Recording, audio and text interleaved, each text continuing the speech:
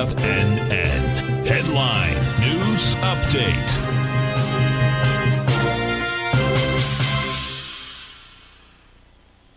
Yeah, this is the Tiger Financial News Network, 10 a.m. market update. The Dow's down 76 at 35,975 after making an all-time high yesterday, 36,088.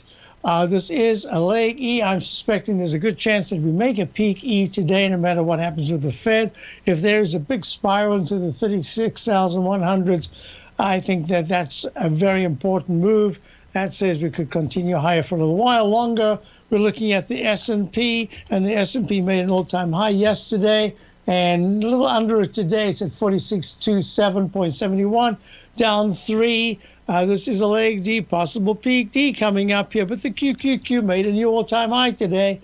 It's trading at 389.14, up nine cents in leg C and in Chapman wave methodology, we're always looking for those Ds where we, we start to look for some kind of reversal. IWM also, the Russell 2000, very strong. It's up $1.65 at 236.10. Uh, it's up 0.7%. This is really, this is a big deal. Uh, because it's breaking out to that leg D in the monthly chart.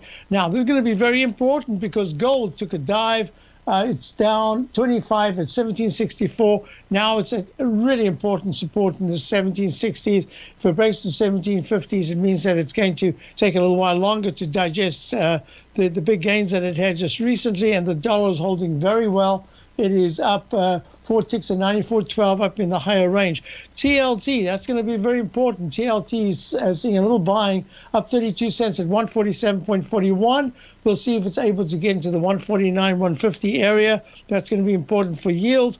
Now, this is going to be very important. Crude oil is down $2.03 at 90, 81.88. You got this dreaded H pattern right here, made it peaky in the Chapman wave inside track repellent zone. I'll be talking more about this when I come back from my show, the Tiger Technicians Hour, in a few minutes' time. Also, check out my newsletter, The Opening Call. Don't forget today, you've got Larry Pesavento. Larry's going to be talking about his webinar coming up in about a week.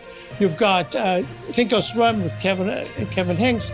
Then, of course, you've got Steve Rhodes, Dave White, and Tom O'Brien. Have a wonderful day. Hope to see you in a few minutes. Otherwise, same time, same station tomorrow.